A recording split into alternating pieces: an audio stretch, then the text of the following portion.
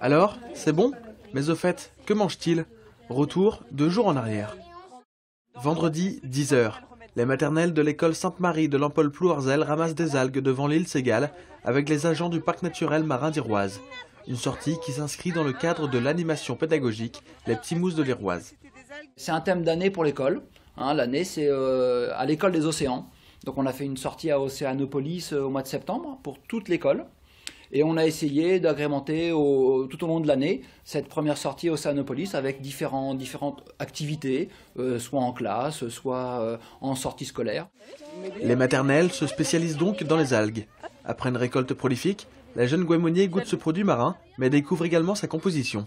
C'est une sensibilisation au milieu naturel. L'idée, c'est de voir un peu euh, la diversité des algues qu'il y a ici, parce que c'est quand même un, un site vraiment particulier pour ça. Il y a plus de, de 600 espèces d'algues euh, sur les côtes bretonnes, donc euh, c'est vraiment particulier ici. Ce qui nous semble le plus important, c'est qu'ils s'approprient en fait euh, euh, l'environnement naturel de chez eux. Lundi, les petits mousses de Sainte-Marie passent en cuisine. Au menu, des flancs au chocolat et des sablés. Et bien sûr, à base d'algues. Il y a tout le monde qui est là en fait. Bah, on a pris du chocolat, du lait, et ensuite on a pris des coquillages et on a du chocolat dedans. Et j'ai coupé un gros morceau. Côté sablé, les enfants prennent un véritable plaisir à travailler la pâte avant de la décorer de quelques émincés d'algues. Et l'après-midi, ils dégustent leurs petits plats.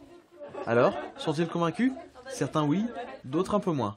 Le principal, c'est d'avoir goûté.